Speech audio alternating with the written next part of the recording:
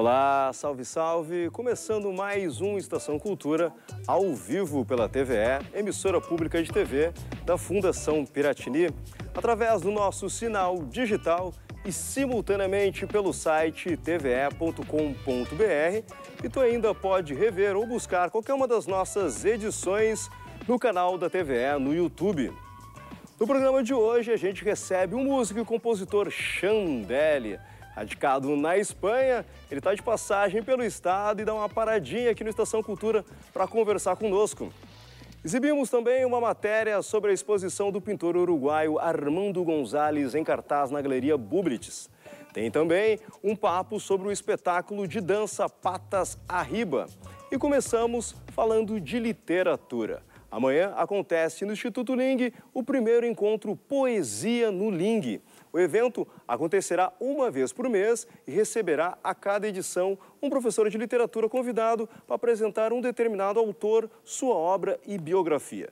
Nós estamos recebendo a professora, autora e poeta Maria do Carmo Campos, que vai mediar a conversa sobre o poeta francês Charles Baudelaire. Tudo bem, Maria do Carmo? Tudo bem, muito obrigada pela oportunidade de estar aqui na TV Cultura, TV né, tão importante aqui para o nosso estado do Rio Grande do Sul. Mais uma vez aqui, outra vez já vieste para falar sobre Isso. as tuas obras, é. agora dessa vez para falar sobre esse autor tão importante Isso. na literatura mundial. Então, como vai funcionar esse evento falando sobre poesia e mais precisamente falando sobre Baudelaire? Tá, esse evento, eu acho que é uma proposta nova do Instituto Ling para chamar pessoas para lerem e aprofundarem um pouquinho poesia, que muitos pensam que é muito difícil, que é inacessível, né?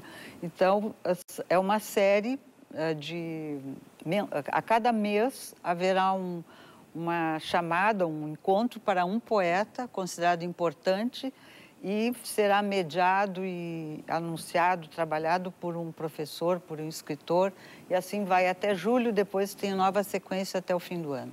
Bom, e dentro dessa programação, já abrindo com Baudelaire, que, que a senhora separaste? Tem também, além da, da questão biográfica, que vai trazer para falar um pouco sobre a obra e a vida do Baudelaire, também alguns trechos, fragmentos, para que as pessoas possam trocar e sentir. que a, a, Também tem muita essa questão do, do, Baudelaire, além de ler, sentir um pouco da, da, da poesia do Baudelaire. Né? Isso, Baudelaire é um universo, né? então tem muito, muito material. Ele é, ele é entendido por uns como um poeta maldito, por outros, e é tudo verdadeiro, como o autor das Flores do Mal, por outro, como um, um sujeito uh, rebelde né, na, na, conjuntura do século XIX francês, mas a obra dele é de uma riqueza imensa. Né? Então, uh, o que, que tem? Tem a, a tentar um pouco uh, uma exposição sobre a brevemente a vida dele, a conjuntura de, de Paris, da França no século XIX, porque esse foi um dos polos de atração de Baudelaire. Ele começou a ver a cidade, se apaixonar pela multidão, uh, sem fazer segregação de pessoas sim, pessoas não. Hoje se fala tanto em preconceito, exclusão, né? O Baudelaire põe tudo para dentro da obra. Isso é uma beleza porque ele vai apanhando uh, personagens, cenas de rua, de calçada e explora muito também a, a questão da mulher, que é outro tema que está bastante em voga né, necessariamente no nosso tempo atual. Então, a mulher, uh, ele começa a dizer como é que a mulher está na rua, porque até um determinado momento as mulheres ficavam dentro de casa, ou então as mulheres de con, condição social uh, muito difícil, precária, às vezes estavam na rua mendigando. Então, dentro desses dois extremos, ele vai fazer uma, uma linha de, de observação e de registro poético. Isso é muito interessante e é, é precoce, é avançado, assim, num certo sentido. Ele tinha muito essa questão do, do observar o cotidiano, isso, isso. As coisas da noite, essa coisa do flaner, né? De é, observar. O flaner é uma palavra muito interessante porque ele andava muito pela rua e observando. Então, uh, cenas assim, uh, tem uma cena muito interessante que é da perda da auréola. Ele, ele simula uma situação que o, alguém está na calçada e diz: Olha aí, o poeta perdeu sua auréola. Ele estava andando num carro, numa carriola, num automóvel, evidentemente. E aí ele diz: Deixa cair a auréola, ela não é importante. A auréola é aquilo que registra, né, significa os santos ou figuras importantes, ele deixa que caia no chão porque não é importante. Pode ser que um outro precise dela e precise colocar na sua cabeça. Então ele vai tratando assim um pouco ironicamente esses temas do que é a poesia e, e tem uma coisa interessantíssima. Não, não se pode antecipar muito o curso, mas é uma, a questão dos paraísos artificiais. Ele entra profundamente nesse tema, onde está em primeira camada o vinho, né? Tem vários poemas uh, dedicados ao vinho, à embriaguez, tanto a embriaguez física quanto a embriaguez, vamos dizer, poética. E depois ele vai usando também, uh, pesquisando e explorando outras substâncias, como o ópio, o haxixe. Isso tudo compõe a obra, uh, inclusive em prosa, de Baudelaire, que é muito importante. Bom, então importante para as pessoas que querem conhecer um pouco mais, seja você escritor ou seja também quem está em casa um amante da poesia, conhecer um pouco mais da obra do Baudelaire com a professora, poeta uh, e escritora Maria do Carmo Campos, amanhã, a partir da das 13h30 da tarde, lá no Instituto Ling, que fica na João Caetano 440, um primeiro encontro do Poesia no Ling, falando sobre Charles Baudelaire. Obrigado, Maria do Carmo, pela presença. Até Obrigada. a próxima, certo? Muito prazer. Eu que agradeço.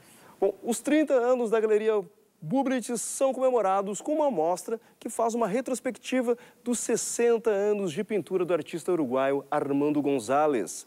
As obras ficam em exibição até o dia 14 de abril.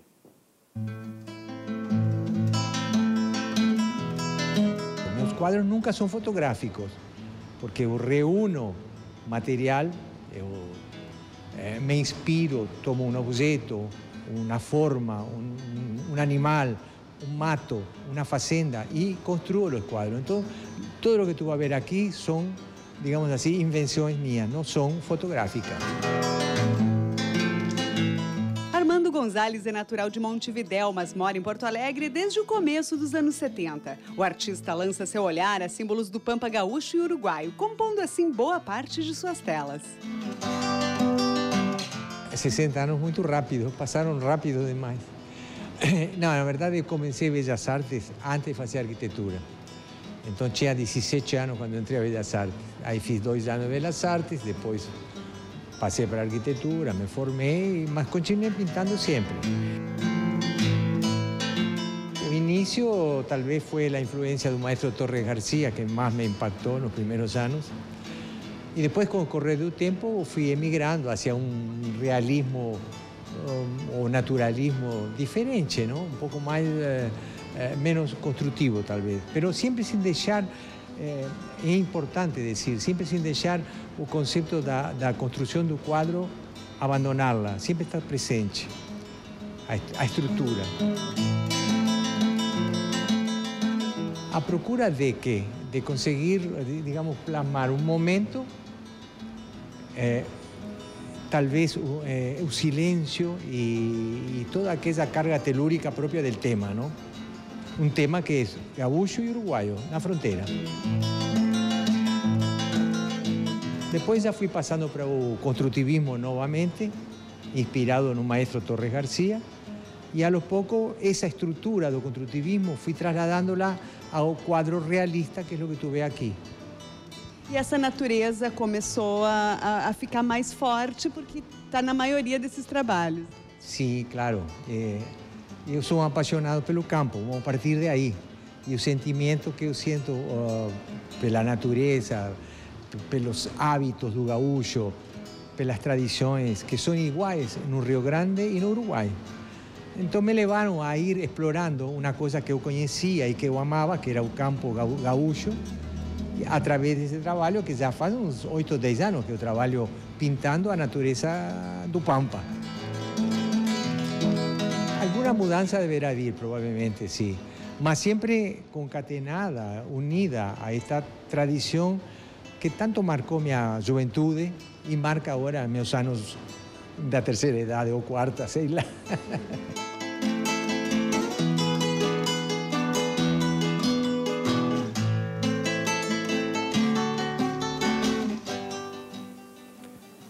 E agora, artes cênicas. No dia 28, volta a Porto Alegre o espetáculo de dança Patas Arriba, que está em circulação pelo estado.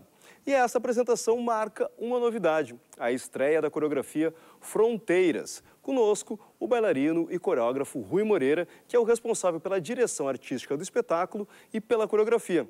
Além de estar no palco juntamente com a Andrea Spalaor, Spalaor para essa estreia, essa estreia também que está em conjunto também, que é uma criação em conjunto entre vocês dois também, né? Sim, sim. A Andrea é uma bailarina é, muito, muito linda, além de muito experiente, não é? que eu conheci, inclusive, quando eu morava em Belo Horizonte.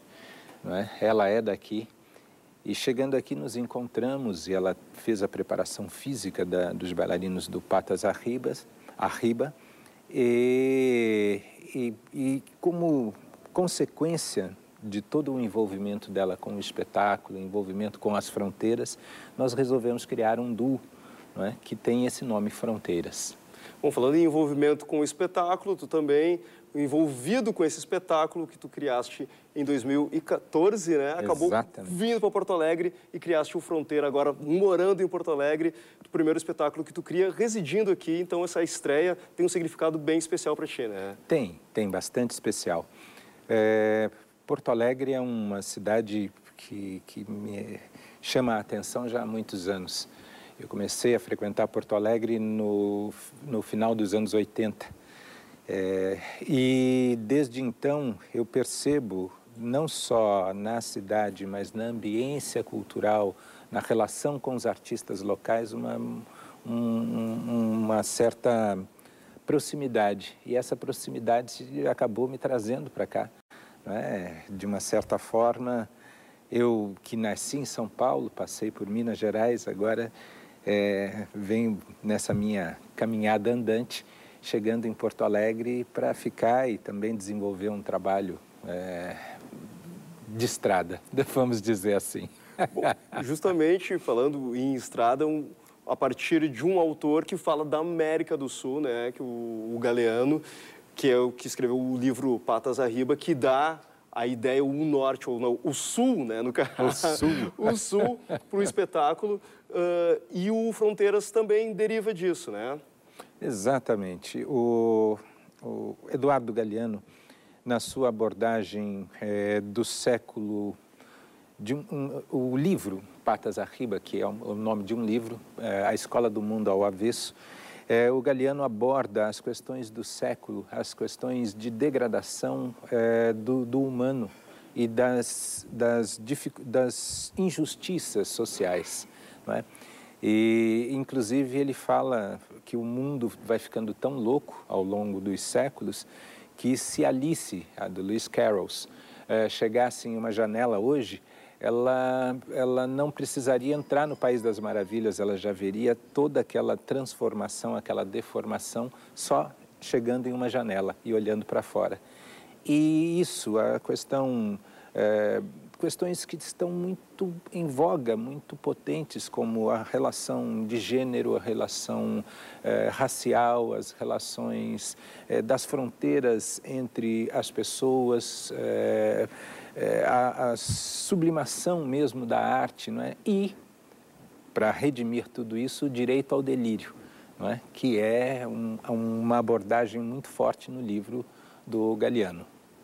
Bom, e aí tu traz isso para as coreografias, no caso do Fronteiras, permeando isso pelos corpos, né? Exatamente. É, tanto no Fronteiras, que é um duo, quanto no Patas Arriba, é, o humano é o grande material de inspiração para a coreografia. É verdade que a partir do, do, dos pontos envolvidos eu enxergo os elementos é, desenhados no livro, ou contados ou relatados no livro, e também outras imagens que nós vemos no cotidiano, e tudo isso é transformado de alguma forma em linguagem corporal, em coreografia, em poesia corporal, é, como queiram dizer, é, em uma ação espetacular. Não é? é? É, muito rico essa possibilidade do, da subjetividade do movimento, quer dizer, o movimento por si ele não quer dizer nada, mas quando ele está contextualizado, ele ganha sentido e pode perpassar aquele que vai assistir. Então isso é muito rico, muito lindo. E a dança, os espetáculos de dança têm essa capacidade, né? A arte tem essa capacidade, a né, arte Rui? tem, é.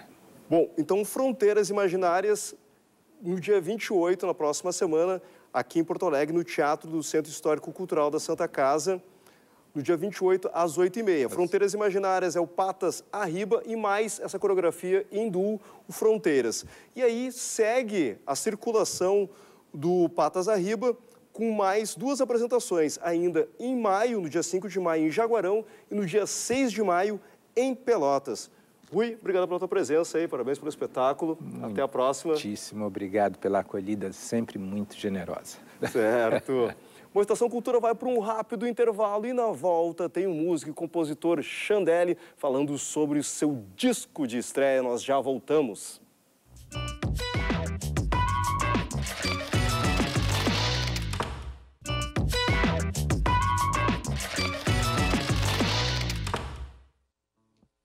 Os relíquias de um colecionador de sonhos, sonhos, sonhos. Os opalas são relíquias de um colecionador de sonhos, sonhos, sonhos. Tem vidro fumê, tem força na estrada. A direção ao tesouro, os faróis viram ouro nas noites nubladas. Sutil, rodando no mundo quadrado. Você já sentiu? Essa nave é motor turbinado. Você já ouviu? Essa banda toca do seu lado. Tchup, tchup, tchup,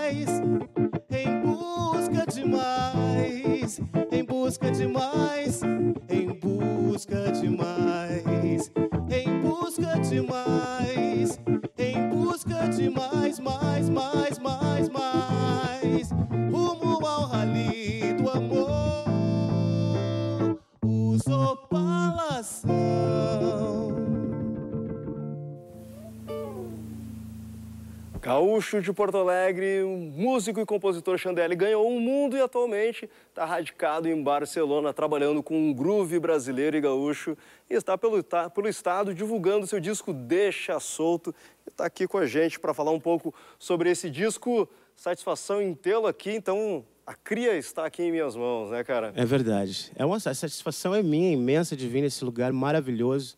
Eu tenho muitos amigos aqui, tenho, sou realmente fã. Sou fã dessa emissora, sou fã da rádio, sou fã da TV. E é um prazer realmente vir aqui falar sobre esse disco que levou basicamente oito anos né, até ser, estar aí fisicamente. A gente começou a gravar esse, esse disco em 2010, nós começamos.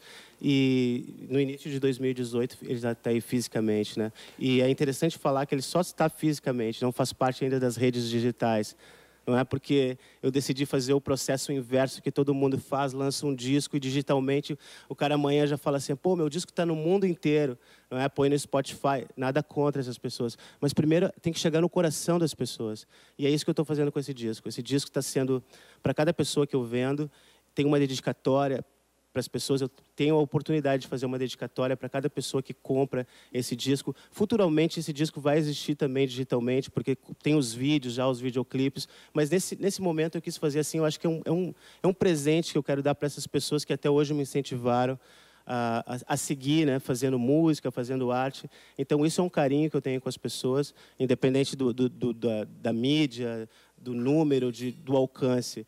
Esse disco é dedicado à minha avó também, que está viva, com 102 anos, lúcida.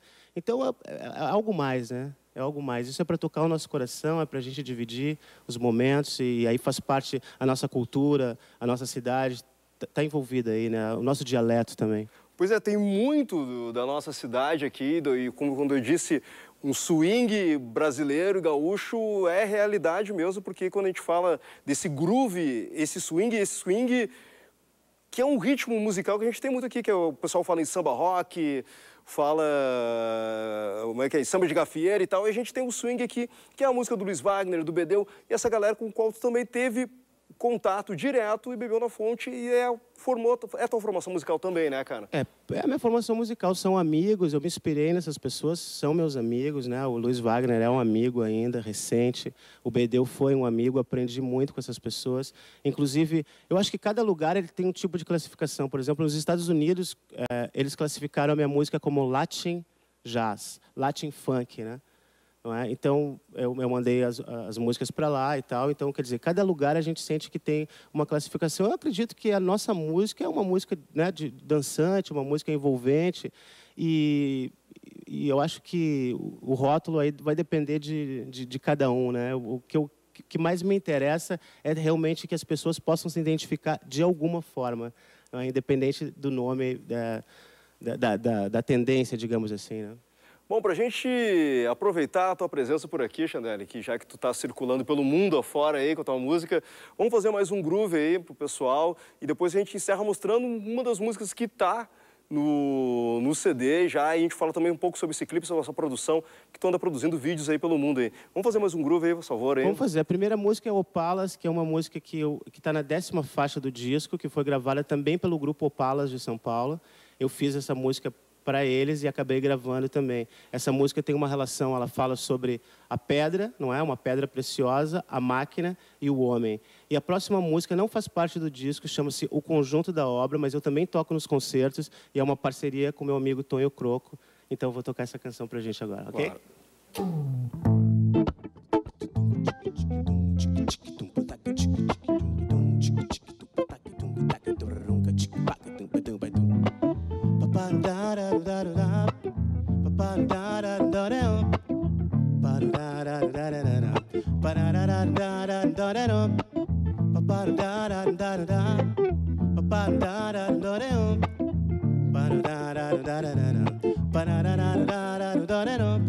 Você é fauna, flora, alfa, beta, gama, moda dentro, fora, sauna, banho, mesa, cama. Você é estádio cheio, luz gestante, cirurgião, pão recheio, prova, recreio. É gol de voleio, show de decisão, água, vinho, sangue, fogo, alma, corpo, vida e sonho você por perto, tudo dá mais certo. A minha sorte dobra, tristeza vai embora. Esperto arquiteto, fez você e o universo. Conceito tem de sobra, perfeita no conjunto. Na na na na na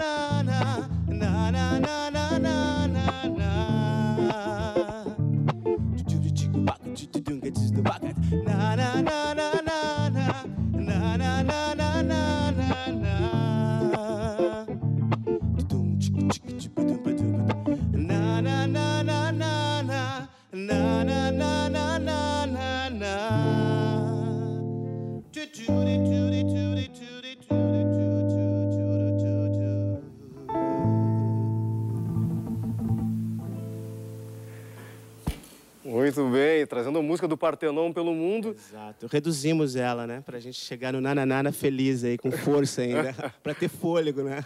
Cara, e a música do mundo tem entrado nas tuas composições cada vez mais fortes. Tu falasse a questão de ter sido classificado como um Latin Jazz, mas essas paradas das músicas do mundo também tem pegado com bastante força a tua musicalidade, né, cara? A tua musicalidade desse groove, dessa coisa do swing aqui gaúcho, também cresceu bastante com a influência do funk, soul, americano também, cara, coisa mais do jazz também, né, cara? Eu escutei algumas coisas que eu vi bastante essa influência, né, cara? Sobretudo a influência africana, eu acho, né? Os amigos africanos que eu tenho, porque a, a, me interessa muito a, a, parte rítmica, não é? E, e claro que o jazz não é um, algo da nossa cultura, mas interessa muito, é um tipo de liberdade, né? Por exemplo, lá, lá, lá, lá fora eles sempre fazem, trabalham muito com a jam session, né? Tem, tem muita jam session nos bares, que significa que os músicos se reúnem para fazer algo livre.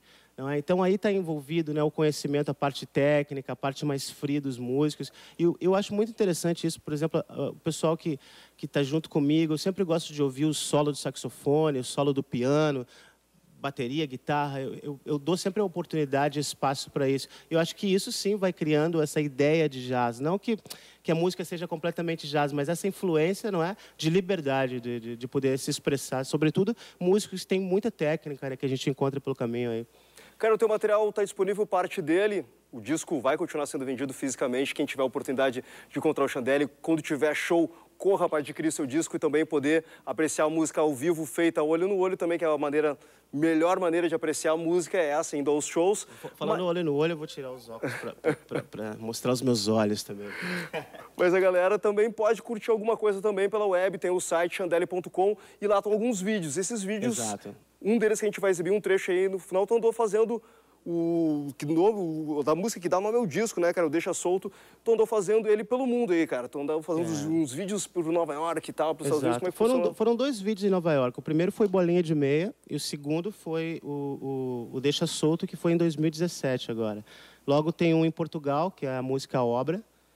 E, e logo tem dois na Espanha, né, dois em Barcelona, e um que eu gravei aqui que chama Sul Samba. Na, na oportunidade, na última vez que, que eu vim aqui, gravei um, um vídeo também chama Sul Samba. Então é, é possível, está disponível os vídeos e essas músicas fazem parte do disco.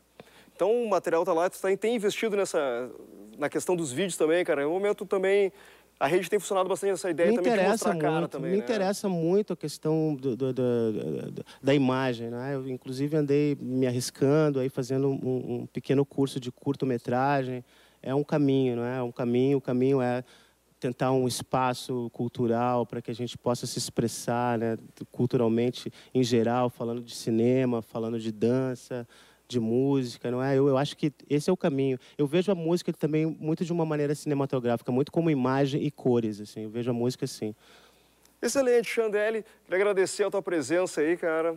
Tipo, satisfação, boa sorte aí pelo mundo aí, levando essa música que também leva um pouco da gente aqui para o resto do mundo. Bom, Deixa Solto, tá por aí nas melhores casas e também o site chandelle.com. Procura o Alexandre Chandelle pelo Facebook também, que tu pode apreciar a música. E a gente fecha vendo um pouco do clipe de Deixa Solto, enquanto eu converso mais um pouco com o Chandelle. Tchau e a gente volta amanhã ao vivo aqui na TVE. Tchau, tchau.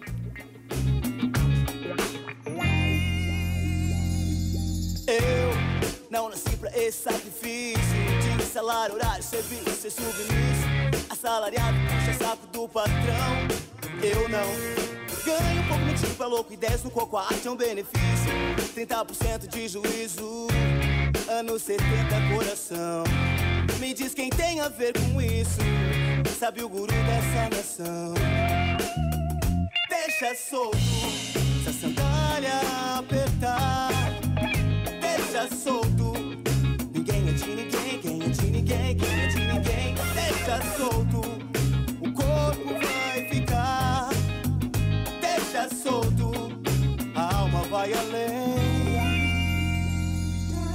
Vitrine, bibis, unhas nos olhos, fio nos dedos, seu empenho é ilusório, falso segredo, batalha de vikings, rebelde, chefe tribal, sua navalha é veleiro, seu sangue é sal, opiniões, sugestões, ideias alternativas, redundantemente, falta de alternativa, outros enfoques, se tá solto, tá solto, se tá preso, imediatamente solte, macro, era, estrelas, cosmos, infinito, borboleta, efeito, esfera, micro, mega, instinto, longas asas, giz de cera, janelas abertas, liberdade na casa inteira. Sempre vai